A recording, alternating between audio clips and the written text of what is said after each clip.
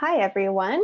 Good afternoon and welcome to the third and final Weed Inspector and Land Manager webinar in our 2022 uh, winter series.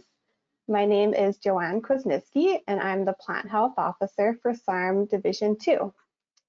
Today's webinar will be recorded and posted on the SARM website and there is one continuing education credit available for pesticide applicators. After the webinar, a short survey will pop up in your browser and we would really appreciate your feedback so that we can continue to curate and improve these webinars for you.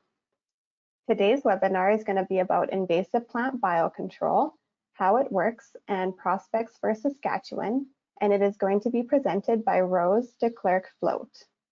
After Rose finish, finishes her presentation, I will pop on briefly to go over our current biocontrol program in Saskatchewan if you have any questions during the webinar, please type them into the chat box and we will address them at the end of the webinar. Rose has been studying the use of foreign insects in the biological control of invasive plants for 30 years in her position as a research scientist with Agriculture and Agri-Food Canada in Lethbridge. She is an import to Western Canada, having grown up in a small town in Northern Ontario, where she began developing her interests in entomology and botany. This led her to obtaining a Master's of Science in Biology at the University of Saskatchewan and a PhD in botany from Northern Arizona University. Now she is mentoring the next generation of biological control researchers while working on the next bunch of invasive plants of concern to Canadian agriculture, such as oxeye daisy and common tansy. And with that, I'll hand things over to Rose. Yeah, uh, yeah thank you, Joanna. Uh, this is, uh, yeah, this is Rose, and I, um, I'm really happy, uh, was happy to be invited to speak to you because um, we have uh, in the past had a number of uh, weed biocontrol projects in Saskatchewan. Uh, that's where Peter Harris, who, who started who was really like the grandfather of uh, weed biocontrol in Canada, was situated in Regina for many years. And uh, there were other researchers there as well, uh, like Dieter Peschken uh, with Canada and, and, Regina. But um, but anyway, I, like I'm looking forward to get getting you some more insights too. So I'm going to, first of all, uh, yeah, give an overview of what our biocontrol program is all about uh, a bit, you know, a bit on the history and um, and and during that process, I, will talk about a, just a couple of past successes that are relevant to Saskatchewan, uh, and uh, but then also a number of new and promising agents that we're currently working on. Um, and uh, at the very end, I'm going to talk about, um, you know, an important process or part of our research is actually not only developing and getting these new agents uh, released in Canada, but developing methods of using them and getting them into the hands of stakeholders as soon as possible with information on how how to uh, make releases and, and uh, get them working for for you in cases where you really need uh, need to control these invasive plants. Um, I'd like to uh, yeah, bring people back to what uh, classical weed biological control is all about. Like it's that's uh, the term um, that's used or to describe our our science, and it's uh, classical because it's what you know it, bringing uh, foreign agents in is, is the classical method of of uh, practicing biological control and but it, uh, it it's all ba is based on the fact that you're going back to the home range or the home country uh, or area where the, where these invasive plants come from to find the natural enemies that feed on them and develop on them, whether those are insects or pathogens. And, uh, and the whole intent is not to eradicate the weed, but to bring its populations down using these organisms down to below damage, damaging levels.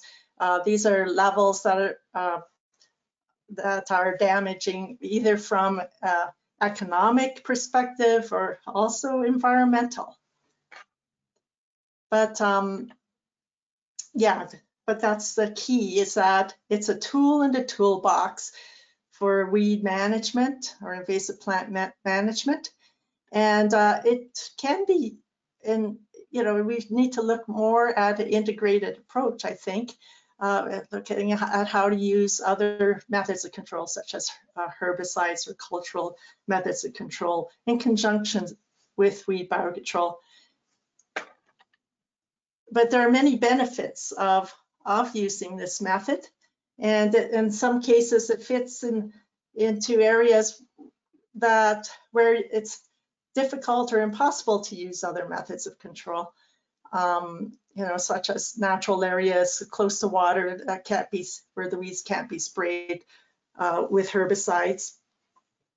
And, uh, but the, important thing though is that it's, uh, it's very, it's meant to be very host specific. You're targeting uh, a specific weed and, and, and we do our best in, in the thorough testing that goes on before we petition for release of these agents in Canada to make sure that we understand what the host range is of these insects and what the potential risks may be.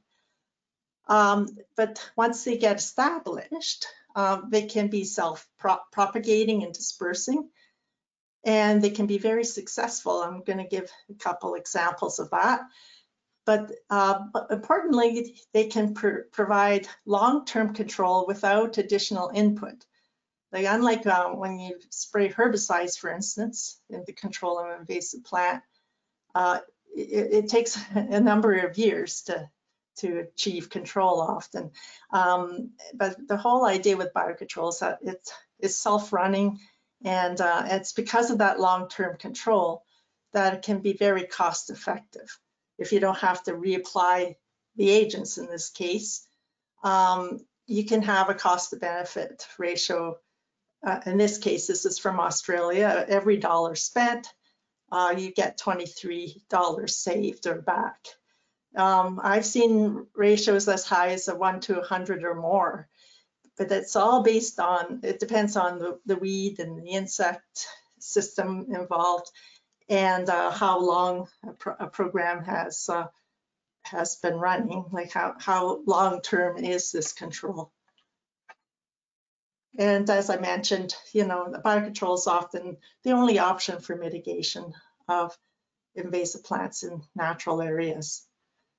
Our program has been quite long running. Uh, you know, I've come in uh, after a string of people, researchers that have uh, all worked for Agriculture Canada, um, starting in 1951. So that's uh, over 70 years ago that our program began. And since that time, 86 species of uh, biocontrol agents, most of those being insects, have been released against 34 targeted invasive plant species. Now, uh, the reason why the number of plant species is lower than the number of agents brought in is that some of these species have several different species of or some of the plants have several different species of agents that have been released just to target the one plant, uh, plant species. But uh, of those that have been released over time, 68% uh, have established in Canada. So these uh, insects or arthropods or, or, or organisms are um, are now part of the uh, the fauna of the native fauna of our yeah, of our country. Um, and even though they, they're foreign, but they, they just, uh, the whole idea is that they kind of slip, slip into our, our, uh, our ecosystems and behave themselves too.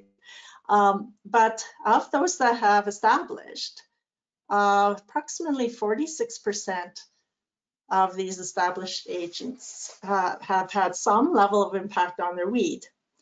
Now, yeah, going back to what I mentioned initially, uh, the, the, intent is not to eradicate or kill all, the whole, all of the populations and plants in the populations of these weeds because you want to have, in the end, you want to bring the populations of the invasive plant below a, a you know, a non-damaging level Uh, but you want to keep a few of those plants in the environment so that the insect that you released or the biocontrol agent you released also remains in the environment in case that uh, weed should take off in number again, start increasing in number. The, the insect is, is there and, and available and waiting and its numbers will go up as well.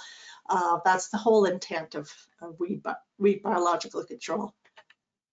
There of the types of agents that have established, um, yeah, there, uh, there's a, yeah, there's a broad range, but um, if you were to group them into, you know, like with the insects especially, um, into you know, various uh, categories. Um, the bulk of those that have established well are the beetles and weevils, uh, which have the long noses. Um, they're a type of beetle. So uh, yeah, the majority have been beetles, which have been quite successful.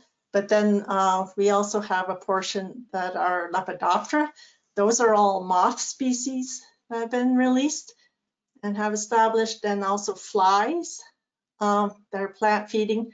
There's a small number of wasps that don't sting people, but they, um, they, they feed on plants and they and they can be quite effective.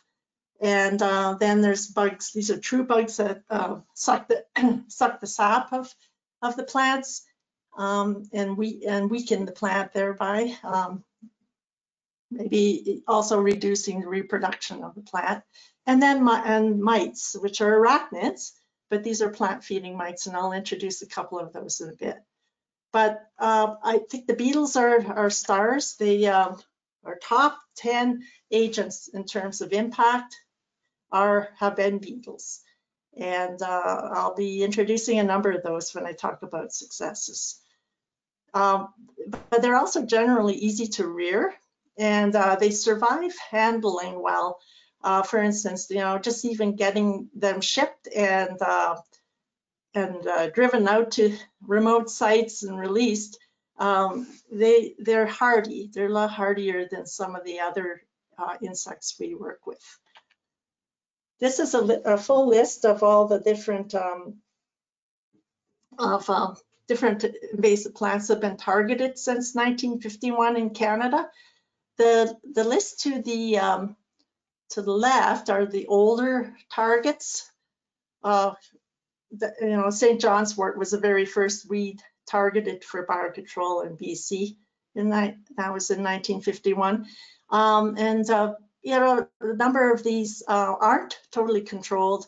And, you know, and when the environment changes too, sometimes these can re, uh, reemerge as, as uh, yeah, as serious weeds too. So like field bindweed, for instance, there's been a few agents released on it at the very beginning, like I think in the uh, 1970s and 80s, but they're not working too well. So we've we've gone back to Europe to find some new agents, uh, and they're being tested now for uh, for their efficacy and and safety as well, uh, and what you know, basically what they feed on.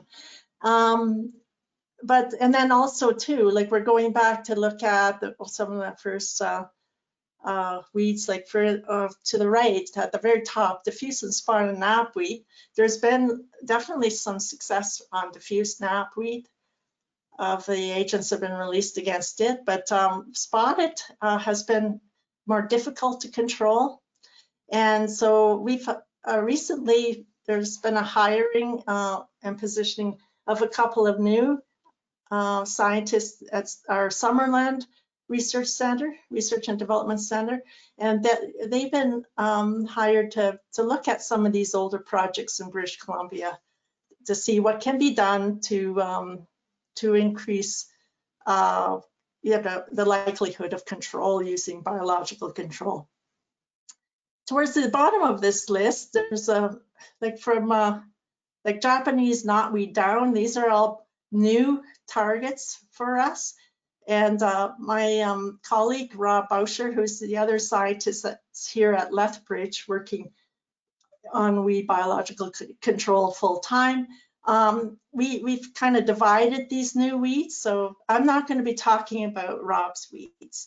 And uh, like he's, he's working on Japanese knotweed, um, and also on dog strangling vine, common reed, and garlic mustard. But I'll be talking about the projects that are ongoing right now in, in our lab. So you're all familiar probably with, uh, with the leafy spurge beetles, the Aphthona beetles uh, that feed on the roots of, um, of leafy spurge. And uh, yeah, of course, leafy spurge is still, well, of course, it's still a problem in places, uh, but these beetles have been really uh, helpful and and gaining some control over over the weed.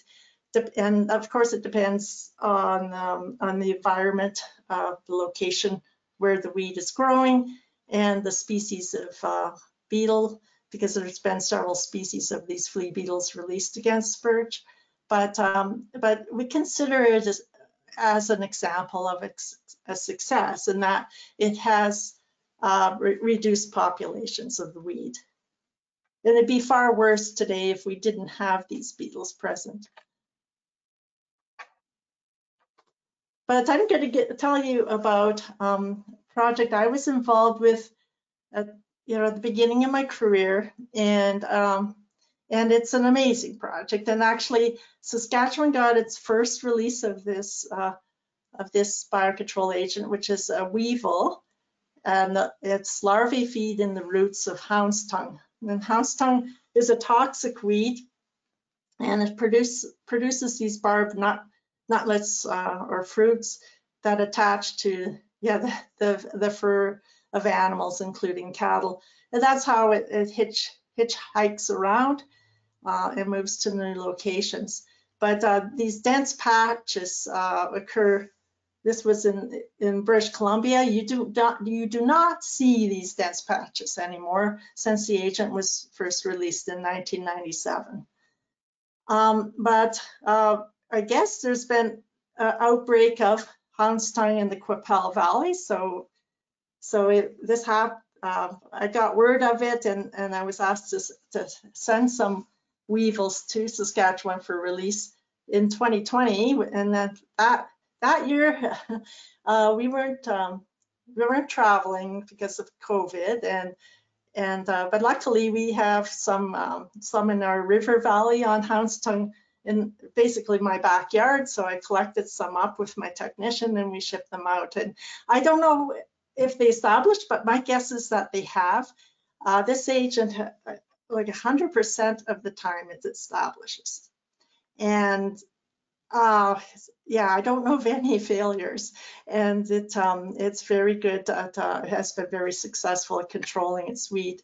I knew that we had a, a success successful agent when I went out. Um, even the year after, this is the sort of thing I was seeing. Um, here's uh, at the top is this uh, really sick hound's tongue rosette Normally they look like this one at the bottom, the, the lush green leaves of an un, unattacked uh, hound's tongue plant is showing. And um, so then within, you know, a couple of years, two to three years, we started seeing uh, this crash in the populations of, of hound's tongue, these dense patches, um, you know, went down to just a few plants with, uh, with the the weevil off looking for the next patch of hound's tongue. They're very good at seeking out uh, its weed and uh, finding it and, and, then starting the whole process over again. So they're behaving like a classical uh, biological control agent, the way you want it to, uh, to behave. So now I'm going to move on and talking about the whole process uh, that we go through in, um, yeah, in developing biocontrol. Uh, there's several steps. Uh, we've broke it down into seven steps. Uh, it looks complicated, but uh, I'm going to be focusing at the begin on the beginning to just give you an idea of the the level of research that goes into getting an agent into the hands of people that need them. Um, but it, it can take many years, sometimes uh, sometimes it can even take decades to, to get through a program. And um, but it all begins with with uh, we have a group in Switzerland. Uh, it's a not-for-profit called CABI, And the, uh, the entomologists there, they go out uh, looking for potential agents that are host specific based on the literature in Europe, usually, um, and also in Asia. Like some of our agents are coming from Asia now, um, but they they uh, distill uh, or break it down into a short list of uh, potential agents that they test very thoroughly. It takes that can take many years, and these are risk assessment studies to test for uh, you know the safety of re releasing the agent, so it won't feed on anything you don't want want it to feed on or damage um, anything you don't want damaged in terms of other vegetation. And that's whether these plants are um, native or, or of economic importance to Canada. The petition, uh, which is a hefty document, inc includes all the test results uh, from these, uh, yeah, these risk assessments, and uh, but also whatever is known about the biology of the insect and and the the host weed as well. But that gets reviewed scientifically when it's sent to CFIA is a regulatory agency that's involved with this. And, uh, and then they say either yes or no uh, under recommendation from, from the experts, like the scientists that review these petitions. They say yes or no to whether, whether or not to release the agent in our environment. Uh, now, going hand in hand with this whole process of uh, uh, doing the host specificity testing is rearing uh, for these studies and also rearing for potential future releases if the agent's approved for release. Once it's approved, you go to initial field releases. Those are experimental. You're trying to figure out where the insect does best out in, into, you know, into the new environment in Canada in this case. And uh, so then we that's where we come in as well with a with our research is figuring out where the insect is establishing well and what kind of impact is it having on the weed? Is it behaving itself as well? And not feeding on other things that uh, we predicted that they may may feed on, if it, especially if the plants are closely related to the weed involved. And then, um, then once all's well, uh, and you know you have a winning insect, that's when you go into uh, researching release strategies so that you have um, you have some information to hand to the stakeholders that'll be using the agent, and then also developing methods of mass rearing the agent ready for more general distribution by people. At the very end, you can look at the long-term interactions between the insect and uh, its environment and, and, the weed is included in that. Um, but, uh, but the whole thing is really applied ecology from beginning to end too. You need to understand these intricate inter, uh, interactions between a host-specific insect in this case and, and, the, and its host plant. Pre-release uh, uh, studies or host specificity studies usually fall into two categories. Uh, the no choice test, that, that, basically tells you what the uh, insect or uh, biocontrol agent can, can feed and develop on. So this is, uh, you know, hinges on its basic physiology, like what, what does it recognize as food and what can it digest as food as well, and uh, to the point that it can fully develop to an adult. And so uh, we figured that out, but once we've uh, yeah, figured out what it can feed on um, and develop on, then we do these multiple choice tests, which are more natural, and uh, they occur typically outdoors in Europe. We send them the seeds of, uh, of uh, many of our native species that are closely related to the weed, and they grow them up and, and then test them outdoors. But in that case, you're asking what, you know, what do they prefer to feed on? And so the list of species that they prefer to feed on and recognize as food can be uh, different for, you know, uh, well, not different, but as a subset of what they can actually feed on if they're not given any choice. So, so the, the host range narrows typically when when you when you release them out in the wild that's because they're cluing into other things that uh, you know other uh, other environmental factors in finding their hosts as well but uh, testing is based on the degrees of relatedness of of the plants relative to the target weed and because we purposely choose insects uh, or organisms that are that are very specific to begin with, we we to save time and and also um, and, and this makes sense scientifically, we tend to concentrate on plant species that are closely related to the weed. Because if there's going to be any non-target feeding uh, and, and development, it's going to occur within those groups or groupings that are closely related to the weed that you're trying to target. So, so in, ter in terms of order of relatedness, you test things that, you know, different variants of the weed, like uh, that occur in in the new range, like the, the proposed range for release uh, in Canada. You send seeds of those weeds back to overseas for the for their testing.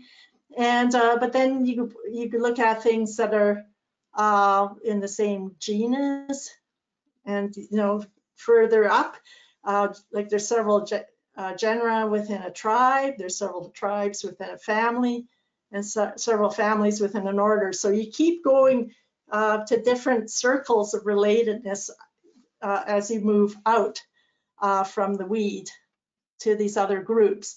And then finally, you do a smattering of uh, testing, uh, usually representatives of, of uh, more distantly related plants. Uh, we help sometimes uh, with our containment facility uh, doing these tests. this is one of my technicians, she was my graduate student, who was working in a, our containment facility where we keep the insects under lock and key and uh, and you know that haven't been approved for release yet in the environment. So we uh, do these, we help with the host specificity test. And um, and then currently we have uh, a number of agents that we have in containment or, or in quarantine at Lethbridge that we're learning how to work with. Uh, we're helping with some testing um, with the group overseas, but uh, we're also learning how to rear the insects and handle them uh, ahead of potential uh, approval that we would receive from CFIA to release them in the environment. And uh, yeah, that, that's a, it's really useful to have that knowledge uh, for later when when you know not only do you get a pure colony that's been um, cleansed of other organisms, you know, and and and also uh, we verify the identity of the organisms when we receive them from from Europe and keep them in quarantine. Um, but we get their numbers up so that when we when we're given the green light to get the agents out, we have uh, some uh, you know a colony available that can be used and um, and yeah and then just learning how to handle them that's information we could pass to to people as well.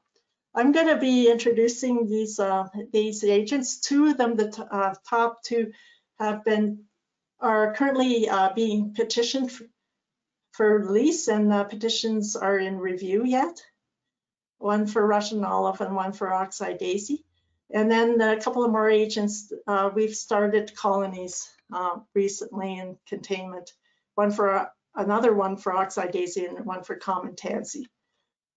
So to just quickly introduce some of these agents, I don't want to spend a lot of time on the Russian olive gallmite because I don't think Russian olive is, is a big problem in Saskatchewan like it is um, in, you know, in um, uh, one area of Alberta, the Medicine Hat area of Alberta, where it's a problem. And uh, we'll probably make some targeted releases if we get approval there.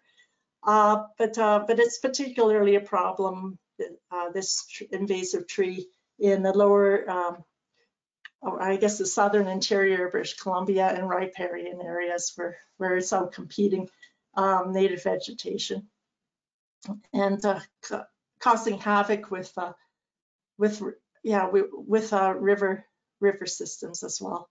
Uh, but this uh, is this is a mite. Um, one of the mites I was talking about that feed on plants. It's very host specific and it creates these galls or it really just gibbles the leaves and but it it reduces the uh, production of fruit by up to 40% and thereby the spread of this weed. And that's the whole intent of releasing um, our proposal to release this gall, gall mite. And it, uh, what's really useful too is produces multiple generations per year. So yeah, unless you have some questions later, but uh, that's all I'm going to say about that one. But one, one weed that you're probably very interested in is oxeye daisy, introduced to Canada in the 1800s, and uh, and yeah, it has uh, definitely spread, invader managed and native pastures. It's listed noxious in um, uh, yeah, under the, the the Federal Seeds Act because it contaminates uh, forage seed crops, which are valuable.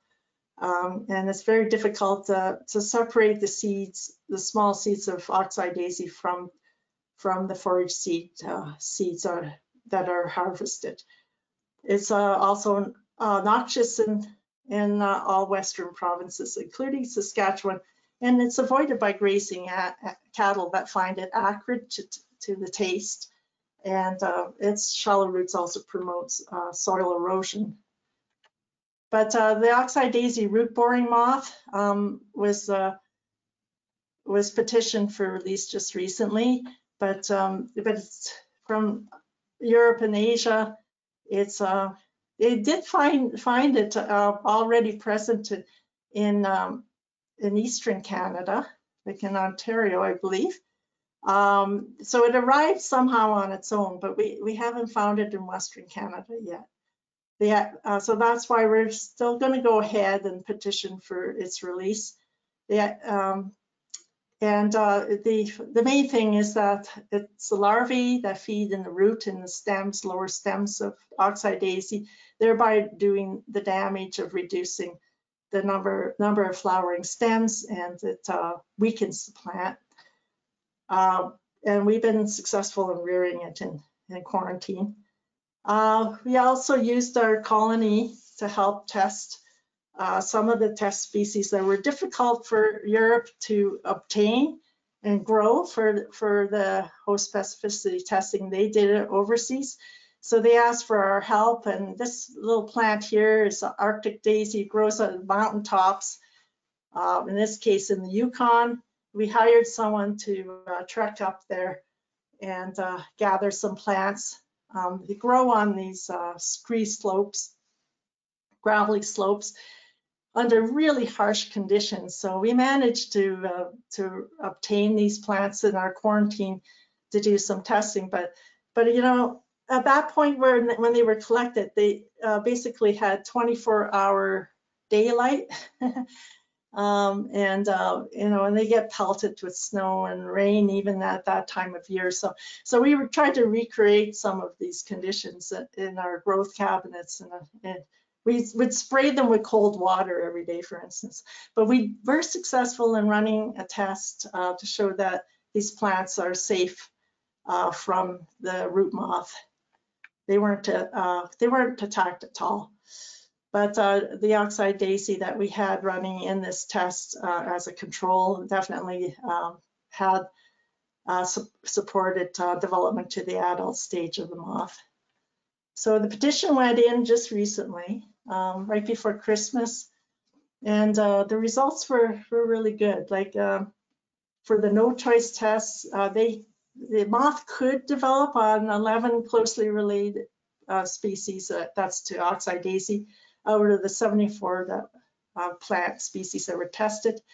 But when taken outdoors for multiple choice tests, they they were only found on Shasta and creeping daisy, which which are they're they're not from they're not native to Canada, but they're they're valuable ornamentals. So we they did extra testing, a lot of extra testing to see if this uh, development of the insect on these plants matter. And uh, it was found that the that the, even though uh, you know there's uh, in, you know, occasional feeding and development on these plants, far less than on oxeye daisy, uh, but it, it, it, did not do any damage uh, uh, to the Shasta daisy especially. Uh, creeping daisy isn't a, a very common uh, ornamental, so we, we focused on the Shasta daisy. Now the other agent that we have that we're rearing right now is is this root, root galling fly. Um, and uh, yeah, these are pretty little flies actually with the markings on the, on the wings, but they form these galls on the roots of uh, oxeye daisy. And um, yeah, we've been successful in rearing these as well, thanks to my technician, uh, Tamara Messer, who, uh, who learned uh, she went overseas for a summer in 2018 to learn how to handle these insects too. So, but uh, so far the uh, fly in the testing has has uh, shown to be very host specific. So it looks promising. The other weed is the common tansy um, that we're looking at, and of course that's a problem in Saskatchewan as well, uh, where it's listed as noxious. It's uh, yeah, it's aromatic, uh, rather a muscular plant, and it, it, occurs in all provinces and territories except Nunavut in Canada. So it's very uh, able to uh, invade a number of habitats, but especially native and managed pastures where it's uh, a problem. It's toxic to humans and livestock, which is a real problem to uh, in terms of the agriculture, and it occurs in riparian habitats as well. But um, but we received just recently, this was uh, again right before Christmas, we, re we, we received this uh, stem boring weevil that occurs in, in Europe. Um, yeah, especially uh, Eastern Europe. But, uh, but we received it from uh, Russia and uh, don't know if we'll be able to get uh, more anytime soon, but we're hoping we can start a colony with this insect it can be, it looks like it could be really effective because it's damaging to, to the plant's uh, reproduction. It, it uh, burrows into the uh, flowering stems. And, um, and yeah, we'll see what happens. Like I, you know, no promises because I think it's a very difficult agent to work with as well. It does, it doesn't, it's not easily reared and it didn't even like be like traveling. Uh, we find they finally found out overseas that best time to ship them is in the fall rather than trying to ship them in the spring when they die uh, very quickly uh, in shipment. So lastly, I just want to quickly talk about, um, yeah, the you know the final stages of getting an agent ramped up for uh, for use um, and and in the hands of people that need them. So um, yeah, so after, yeah, this is after uh, we figure out that the agent is successfully establishing and having impact. Uh, so we want to develop some uh, release strategies for people as well and, and develop, develop methods of mass rearing and distributing the agent. So uh, use as an example, uh, the work we've been doing with Rhinusa pilosa. This is an agent uh, that we've been releasing in Saskatchewan, see how well it establishes on the prairie. Uh, but it was introduced from Serbia. Um, first releases were made in 2014. It's very host specific. It doesn't feed even on closely related toadflax species, but it has a pretty good impact. Um, and uh, based on you know our, our research, and for the adults, they emerge in spring, they lay their eggs in the shoot tips, and uh, as a, you know, and then this big fleshy gall is formed on the stems that sucks all the nutrients and water and um, and things that, that, go to normal uh, growth and reproduction of the plant are channeled to, to these larvae that feed within the gall. And uh, you can see there's a larva at the top of the last uh, photograph to the right. Um, and then they pupate in the gall uh, towards the end, end, of summer. They emerge as adults and continue to feed inside the gall before they uh, uh, chew a hole on the side of the gall to emerge, to overwinter in the litter and soil. But uh, the first releases were made uh, in 2014-16 across Canada, including Saskatchewan. And, um, you know, we've, we've been monitoring these to see what kind of establishment is occurring and uh, how the populations are behaving. You know, are they increasing, de decreasing, or disappearing, disappearing altogether, or there never was any establishment? So it's kind of a mixed bag, but we we do seem that like there seems to be some pattern patterns emerging. This is just for the Western Canadian releases, but anything in yellow means that uh, there's they're there and they're increasing in number. Anything in red, uh, if it's a hollow red uh, ring, it uh, means that they, they're absent, they didn't establish. Uh, but a solid red means they're there, but they're decreasing in number. So we, we haven't uh, monitored since 2019. So we're anxious now that things are opening up a bit more post-pandemic. Uh, or, or, yeah, or this stage of the pandemic that we can get out and re-monitor uh, these sites to see what's actually happening. But um, but their uh, star, like any of the yellow stars, those are the, best sites where they're really increasing, uh, you know, uh, four or five, five-fold uh, uh, increase of of the insects at these sites. But these tend to be at higher elevations, and uh, especially around the Calgary area. And there's one site uh, in the Elkford area of south southeastern uh, BC that's doing quite well at high elevation. So we're, you know, I'm not sure what's going on, but we think that moisture level might be involved. Uh, I'll point out those are two releases in Saskatchewan are at Last Mountain Lake. But we've made many others in the Saskatoon Battleford area. And, uh, and I'm hoping to get more out. Uh, we made some at Prince Albert National Park too. But we need to find out, maybe they're gonna do better, you know, in more boreal areas too. So, so uh, this is all part of the learning process. And uh, to kind of test the idea that moisture, soil moisture might be important, that allows the, gall, the gall that is formed to really get big and juicy um, and draw the nutrients to the larvae.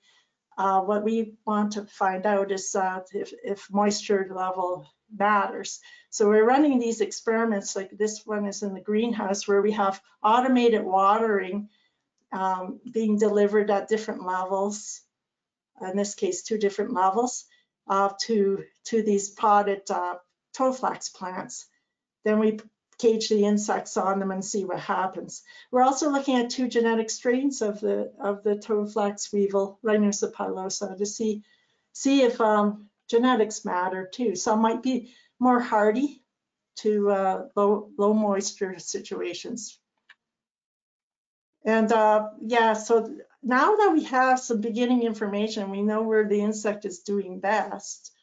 Um, you know, the whole idea is to get, uh, get, you know, get the insect ramped up in number and develop uh, methods of mass rearing. We can rear in the lab, um, and that's where the first uh, material for the first releases have has come from. Um, you know, again, we have these uh, these potted plants that we overwinter pot and all in our cooler and bring them out in the spring. We know what stage of development to grow the plants up to before caging them with the insects. But you can see the harvest of galls down here in the lower left-hand side. Like we, we produce like thousands um, in rearing in the lab. Um, yeah, this is just an, uh, the cage plants is to give you an idea how we cage the, the insects on. Uh, this was work we did in 2020 because we, we were kind of restricted uh, in terms of, of, our presence at the research center. So we were all rearing in our backyards. And in, in, this case, I was I had a production line going in the kitchen. um, but anyway, the you know that's one method. But you know we're a research facility. We're not an insect mass production facility.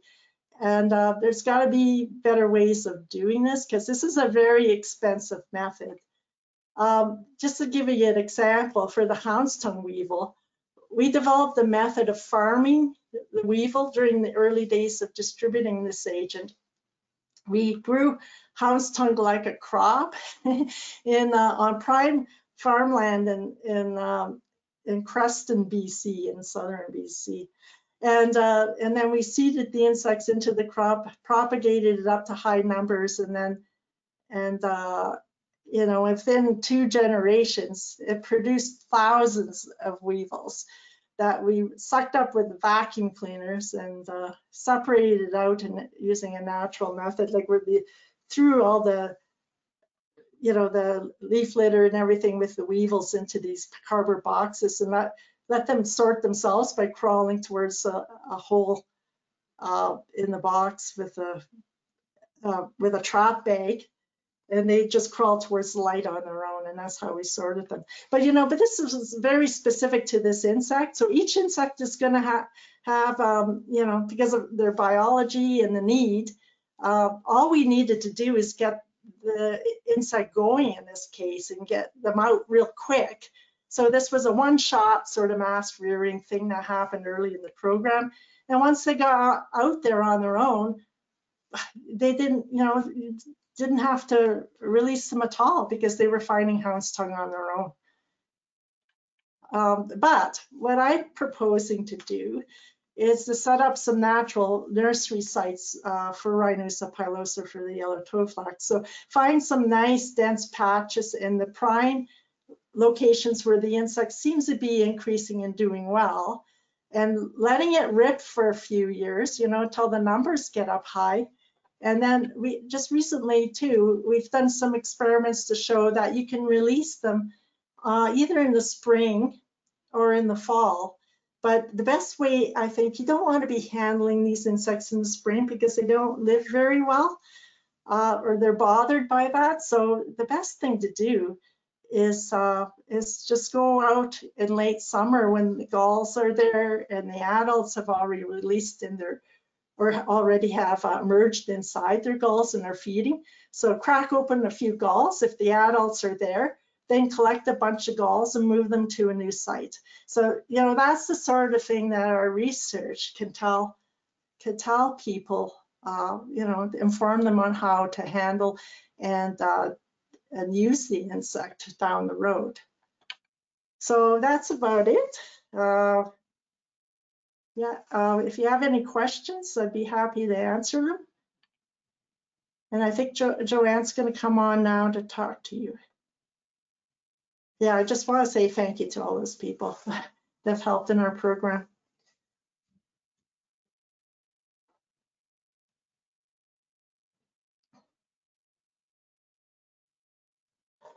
All right. Hi, everyone. Can you see my screen, Rose? Yes, I can. Perfect. All right, so I'm just going to go over really quickly our biocontrol program in Saskatchewan that the PHOs currently coordinate, um, just in case you're wondering where you can access biocontrols in the province. So uh, biocontrol is coordinated by the plant health officers in Saskatchewan and we're in charge of biocontrol agent collection, release, and monitoring within the province. Um, so one of our biggest ways to access biocontrols is our leafy spurge beetle collection days at the Sand Campground every July. And for other biocontrol agents, uh, you can feel free to reach out to your division plant health officer we have the historical release and monitoring data for most biocontrol agents in the province, and we can help you pick a suitable site for release. So just to, uh, Rose kind of touched on the leafy spurge beetles, they're Aphthonus species. And we have a collection day that's free for all Saskatchewan landowners, RMs, and First Nation bands to come collect leafy spurge beetles for release on their property and the PHOs are present during these collection days to provide information and assist in packaging the beetles. And we do provide sweep nets as well, so you don't have to have your own, just come out and borrow one. They take place every July, and it's usually the first week of July, but it all depends on beetle emergence and weather. if you'd like to be on my email list for the collection days, just send me an email and I'll add you to my, my list to let you know when the collection days are going to take place this year. Um, and then we have a few other agents in the province. This is kind of our more retro agents, is the scentless chamomile seed weevil. So they consume the seeds on the flower head. And then we also have the scentless chamomile gall midge, and they lay eggs and create galls on the growing points of the scentless chamomile. And this disrupts the growth and reduces flowering. So that's another agent that we have the historical uh, collection and monitoring data on. So if you're interested in scentless chamomile biocontrol agents, we can help you out with that as well. Um, and as Rose mentioned, we do have the stem galling toadflax weevil. Uh, Colleen Fenig, our Division 6 plant health officer, is currently working on establishing some populations in northwest Saskatchewan. And uh, Rose also mentioned that we did our first Saskatchewan release of the Hound's Tongue root weevil in 2020. And it did establish, we checked it last summer, and we Good. found evidence of the feeding and of the, the weevils themselves. So excited to go out this summer and see how they're doing in their, their second year. Um, and another thing I just wanted to touch on real quickly was when you're considering a biocontrol release, just to ensure that you have a suitable site. Um, so our guidelines are generally uh, to have a noxious weed infestation of more than 12 acres per quarter section of land. And you may need to still contain that perimeter uh, using herbicide if needed. And uh, also, if they have weeds present in areas where herbicide application is not possible, such as an environmentally sensitive area. And this is all of the plant health officer's contact information. If you have any questions about biocontrols, feel free to reach out or type it into the box here. And so we do have a couple questions. Hmm. Okay, what would a person need if they wanted to be the person that collected native plants for testing? Are these typically AAFC employees or contracted employees? Hmm. Yeah, that's a good question. I get. I guess it depends. Uh, yeah, like we'll we'll take plants from anyone. I mean, uh, but they but it'd be helpful if they uh, they had good um, plant ID skills. And uh, like we've like BC, for instance, they like they've been big supporters of our program, and and they've uh, in the case of the the Arctic daisy I showed you for testing the oxeye daisy agents. Uh, they hired a, a retired botanist uh, to, to, to do the collection. But, you know, it's a matter of just getting in touch with, um, I guess, the scientists like uh, ourselves that are working on the projects, because then, then we can advise as to how best to get the plant material and what, you know, sometimes um, they can't be easily grown from seed or it's very difficult. So like with the Arctic daisy, they had to be collected, the whole plants had to be collected. And that's why it was impossible to get them uh, to Europe so that they, they were still living when they re received them. And that's why we intervened. Um, but we're always looking, like uh, overseas, they're always looking for plant material for the test test lists that are um, developed. And there's a, yeah, there's a lot done um, in terms of developing those lists as well. So yeah, just contact me, I guess, depending on the weed, uh, the weed system. Fantastic. Um, and then the next question was, are the toadflax weevils available to producers or uh, only through other avenues? Uh, well, like they, I consider them still uh, in the experimental stage, but we're coming, you know, like I said, we're coming to a point where we're getting a better feel for where they're establishing. And I, you know, I hope to actually uh, run a run an experiment or study to look at their actual impact in the field at one of these sites where they're doing well. Um, so once we get past this, like I think within the next five years, we're looking at more general distribution, especially if we get um, these nursery sites up and running, then then they just get handed off to you know municipalities and um, and the provinces that, that uh, have a system of getting them out to, to stakeholders that want them, like land managers and farmers and, yeah. So it's uh, the development of the, those sort of uh, avenues is really insect by insect as well. Right. Awesome, thank you. Um, the next question is, Rose stated that leafy spurge would be far worse today if it didn't have beetles. Um, could you clarify or quantify this statement? Does it apply to, to small Oh, areas or the province as a whole? Yeah, I don't have any data. Like this is kind of just looking at the situation, you know, but yeah, yeah, you have to look at how the, how the environment is changing over time too. You know, like with like with with uh climatic warming and that too. Who like I can't say for sure, but the fact that you have something out there that is actually reducing the plants' numbers and populations uh, you know, like I think the next step is to say, well, there's there's got to be it's got to be better than if you didn't have anything feeding on that that weed, right? So, like I, I yeah, I'm I guess I'm it's not very good for a scientist to guess, but yeah, I'm just surmising that that's the case. hmm Good question though. Yeah, Gotta hold my feet to the fire. Wonderful. I don't see any more questions, so we can probably wrap things up. Thank you so much, Rose, for coming and talking on the webinar. I know it's really valuable information for myself and the other attendees. And uh, thank you to everybody who tuned in. Um, I'm sure we'll be continuing these webinars into next winter as well. So thank you so much. Yeah, I, I just want to give a shout out to Colleen uh, Fennick, who's who really ha has been helping helping get the um, experimental releases of Rhinusa pilosa out in Saskatchewan. And uh, I'm hoping I can meet all of you at some point too, you know, during a, a field day. So Yes, that would be wonderful. yeah, and go Riders. My, my husband's from Saskatchewan, so I'm a Rider fa fan too.